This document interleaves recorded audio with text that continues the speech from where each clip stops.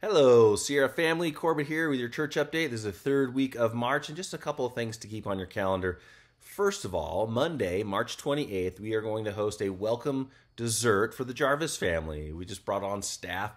Bethany is overseeing our worship ministry in conjunction with Thomas Purvance, and Tim is going to be overseeing our AV department. So, if you'd like to get to know them, come together, ask them some questions, just spend some time hanging out and sharing dessert, then you can do that Monday.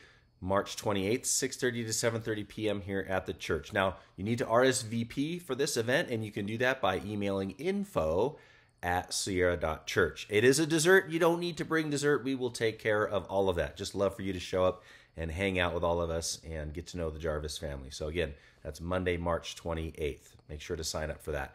One other thing to note of Saturday, April 4th, if you've been following along with our core values classes here that we've been doing this year, we have four core values classes 101 through 401, and we have reached 401, which is sharing your story. It's going to happen at the church Saturday, April 4th, 9 a.m. to noon. You do need to sign up, register for this class. You can do that by emailing noah at sierra.church or nick at sierra.church. There is some pre-class homework for that, really helpful uh, during our class to have that done beforehand, helps with discussion. So you're going to make sure, you want to make sure to get in touch with those guys, let them know that you're coming, RSVP for that. Sharing your story really is about telling others about who Jesus is through who he is in your life. It's not just, you know, having all of the theological answers and questions that people might ask about Jesus, but being able to have a very genuine conversation with people about who Christ is in your life. And, and a lot of times we, we just feel like we're not prepared for that or we're not qualified. But, you know, every one of us, the scripture says, is an ambassador who represents Christ in this world. And we all have loved ones that need to know him, friends and family.